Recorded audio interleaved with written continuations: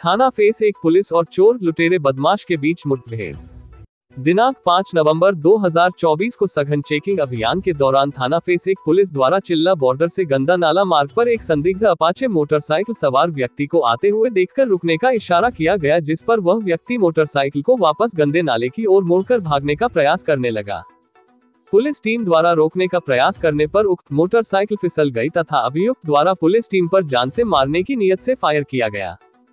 Police team द्वारा की गई जवाबी कार्रवाई में उक्त अभियुक्त गोली लगने के कारण घायल हो गया। घायल अभियुक्त की पहचान साजिद पुत्र यूनुस निवासी त्रिलोकपुरी, नई दिल्ली के रूप में हुई है। अभियुक्त के कब्जे से एक अवैध तमंचा दशमलव तीन एक पाँच बोर मय शून्य एक खोखा व शून्य एक ज़िंदा कारतूस, एक चोरी की मोटरसाइकिल अपाचे व तीन मोबाइल फ़ोन बरामद हुए हैं। बरामद मोटरसाइकिल के विषय में जानकारी करने पर उसका रजिस्ट्रेशन नंबर यूपी इक्यासी जे तीन हज़ार छह सौ अठहत्तर ज्ञात हुआ जो थाना फेस वन क्षेत्र से दिनांक 30 अगस्त 2024 को चुराई गई थी, एवं बरामद मोबाइल फ़ोन अभियुक्त द्वारा दिल्ली में अलग अलग स्थान से छीने अथवा चोरी किए गए थे। घायल अभियुक्त को तत्काल उपचार हेतु अस्पताल में भर्ती कराया गया है। अभियुक्त पर दिल्ली में लगभग 30 मुकदमे तथा गौतम बुद्ध नगर में छह अभियोग पंजीकृत है।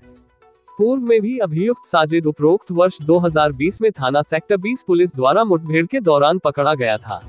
अन्य आवश्यक कार्रवाई की जा रही है। आज रात्रि में पुलिस कमिश्नर गौतम बुद्ध नगर महोदया के निर्देशन में प्रभावशाली चेकिंग बॉर्डर पे हर जगह पर नोएडा जोन में कराई जा रही थी।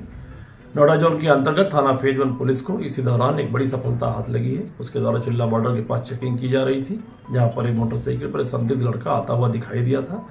उसको रोकने का प्रयास किया गया, उसके द्वारा पुलिस पार्टी पर फायरिंग की गई। पुलिस पार्टी के द्वारा आत्मरक्षाक फायरिंग की गई जिसमें बदमाश घायल हुआ। बदमाश की पहचान साजिद के रूप में हुई है। शातिर दुर्दांत अपराधी है।